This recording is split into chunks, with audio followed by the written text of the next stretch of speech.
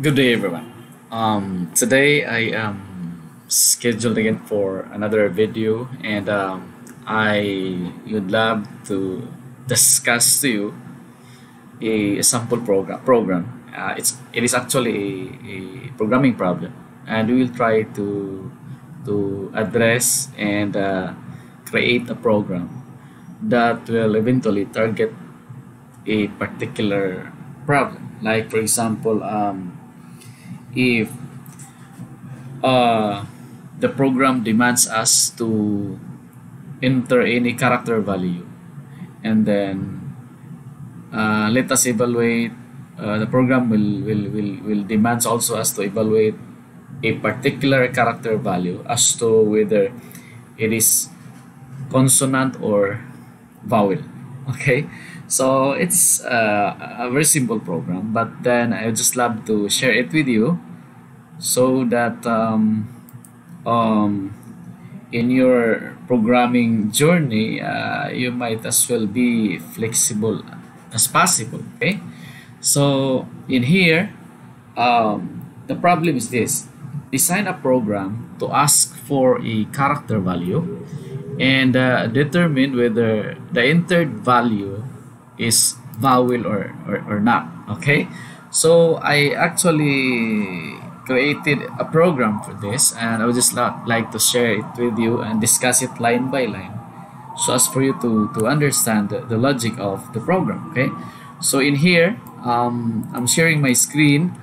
Um, I did use online notepad. Um, I this is the usual you know line first line include stdio.h then followed by the main function in main so when you say int main as your as your function so at the end of your program you you need to return something right because it is an integer main function so at the end of the program you will have to return at least a zero value okay that's part of the the syntax okay?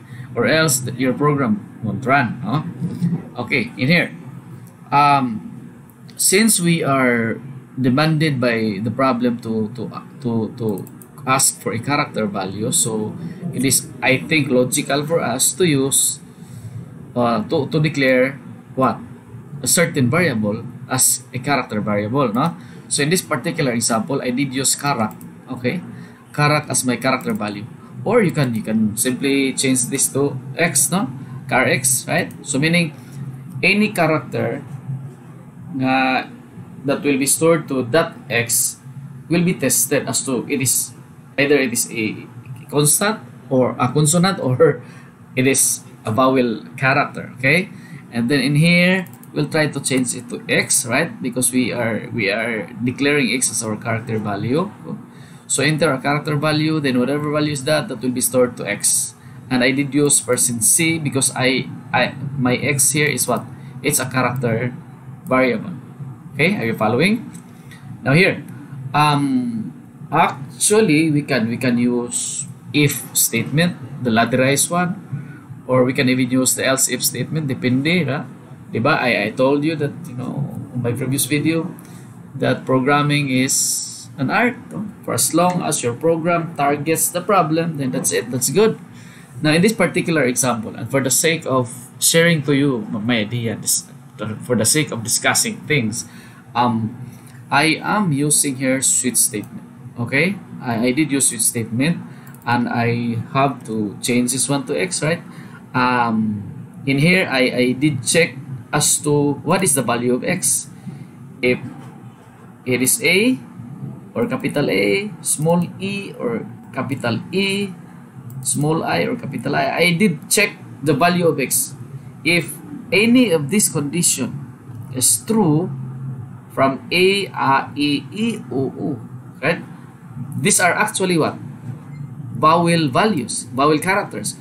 So if any of these conditions is true, then my program will display whatever is, is the character is a vowel, right? And I, I need to, to change this to X, same with here. And if this, if any of this condition won't become true, meaning the, the value of character x is not a vowel. Or you can say um, is consonant. Okay is uh, is consonant. Right okay? So then return C uh, we'll try we'll try running this program. Let's see if it will run. Okay? Uh, copy and paste. Oh where's my online? Okay. So we'll try to we'll try to open our online compiler. All right. Uh, see in here. Online compiler. Okay. uh, for us to execute the program and see what's the what's the screen output right? So um, this is now my, my my online compiler. So in here I would just have to you know to paste my my program. Okay. Sorry it's a little bit loading in here. Yeah here. This is now my program okay that I did discuss a while ago. Um, I declared x as a character variable and then I, I, I did ask for a value and stored to x eventually. And on the next series of lines I did check as to what is the value of x whether it is a vowel value or a consonant value. That's it okay? So now we are ready to execute the program. Click run. Let's see what's the screen output okay? So it's quite a little bit you know loading but um, I'm pretty sure it will it will run okay? So here uh, for a while uh, see? Can you see my can you see my screen? So the program now is asking for a character value. Say for example uh, um, I will input uh, not X because uh, it might confuse you. Uh, because I, I did use X also as my as my variable but in, in a way you can still input X okay because the character X that I declared in my program is a different X that I'm going to feed in while my program is running right so let us say I will input or I will supply capital letter G G as in Junel when I press enter K that G will be stored to X and eventually the value of x will be tested as to whether it is vowel or consonant. Then we'll press enter K. So here, G is consonant, which is correct, right? So we'll try again. Um, let us say small letter K. Press enter K. K is consonant. Okay, so 50% the program is correct. Let's check if this is still correct. Letter A, what is this? Small letter a. A is a vowel. This is correct. Last example, last value, capital A. Right? Capital A, present. A is a vowel.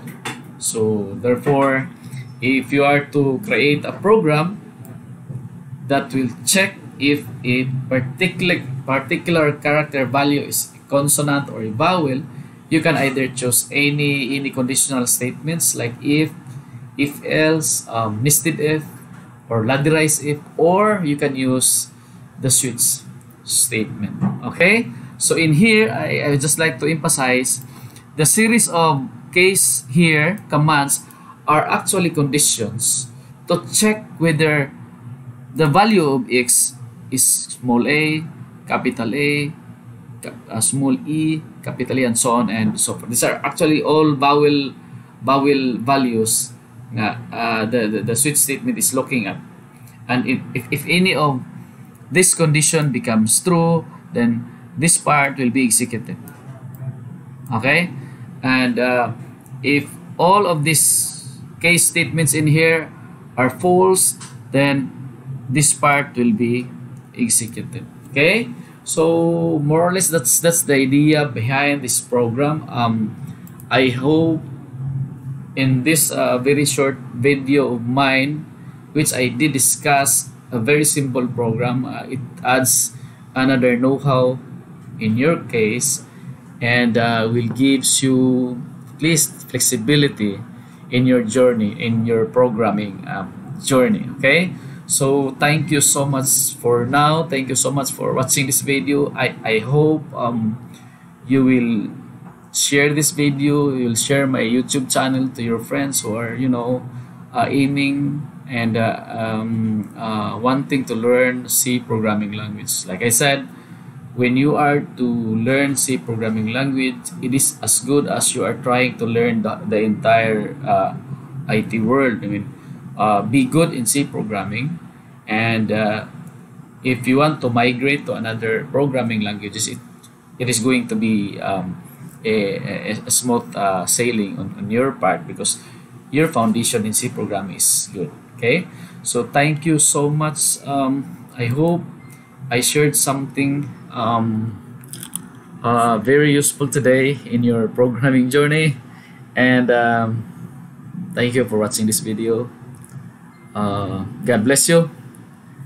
God bless us all.